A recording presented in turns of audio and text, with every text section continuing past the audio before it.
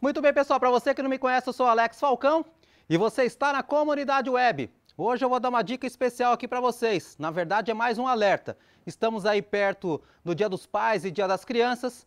No momento dessa videoaula, estamos aqui no mês de julho e aí já já está com certeza havendo pedidos para vocês.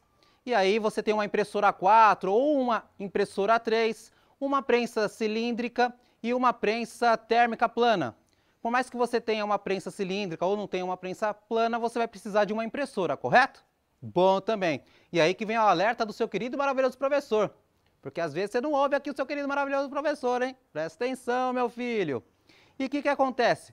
Você já vem trabalhando com a sua impressora, você já vem trabalhando com a sua prensa cilíndrica, e no caso da prensa cilíndrica, ela simplesmente é um produto de desgaste, né? Estou falando da resistência na hora que dá um problema, fica cheio de bolha ou mesmo queima resistência, tem que trocar. Isso não faz parte da garantia da máquina, a não ser que seja dentro do prazo de três meses, tá certo?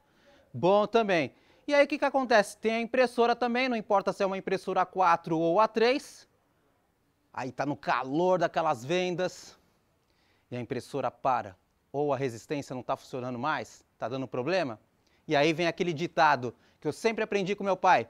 Quem tem uma, não tem nenhuma. Portanto, pessoal, já se prepare para o Dia dos Pais, Dia das Crianças, em seguida aí já vem praticamente o Natal. Então você tem que estar preparado. Se você tem uma prensa cilíndrica, quem tem uma não tem nenhuma, não é necessário exatamente você comprar uma outra prensa cilíndrica, você pode já comprar uma resistência e deixar já separadinha de backup para você. Porque no calor lá, se der um problema, ferrou, né, meu filho? Então, o mesmo acontece para a impressora. Para a impressora, o que, que você tem que fazer? Reserva uma graninha, né? A gente sempre coloca no custo aqui, no custo operacional, de um real. Por cada produto que você vender, você vai guardando um real. Quando você for ver, você já tem uma graninha separada para comprar uma outra impressora. Então essa é a dica que fica aqui para vocês, tá certo?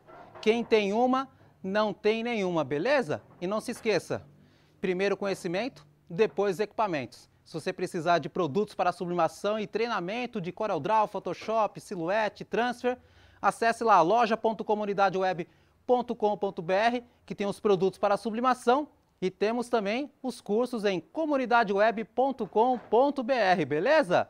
Não esquece, quem tem uma não tem nenhuma. Primeiro conhecimento, depois equipamentos. Até mais!